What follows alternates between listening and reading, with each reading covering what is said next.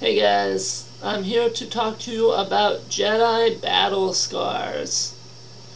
So, I know a lot of you guys played the game Jedi Fallen Order, right? It was an amazing game, and you had your main characters, right? You got Cal Kestis, oh, you got Cere over here, um, Merrin, and I actually forget this guy's name, the forearm guy, but uh, overall, that game was awesome. And the next game, Jedi Survivor, is coming out April 28th, so that's like 19 days away. And so I wanted to know what happened between Jedi Fallen Order and Jedi Survivor, and that's exactly what this book talks about. So if you are a fan of the series and you're planning to play the new game, you should definitely check this book out. It'll give you a, a deep understanding of kind of the, the five years between the games, what they've been up to. Let me read you what it says. So, Cal Kestis has built a new life for himself with the crew of the Stinger Mantis. Together, Cal's crew has brought down bounty hunters, defeated inquisitors, and even evaded Darth Vader himself.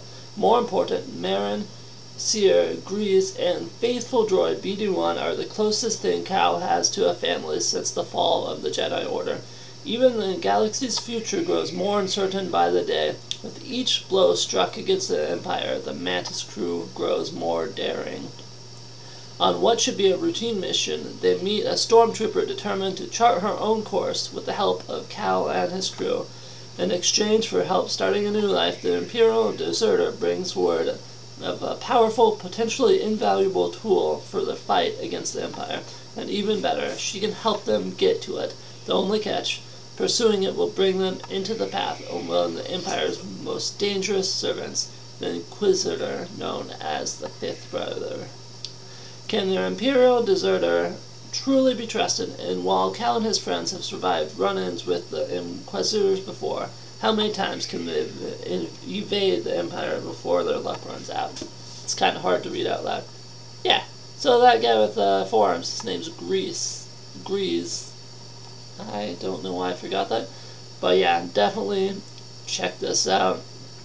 Uh, it's only 280 pages long, uh, so it shouldn't take you too long to get through it, but it definitely, uh, yeah, definitely, I, I think brings the series together. Uh, so remember, like and subscribe. I am Guy with a book review. Thanks so much.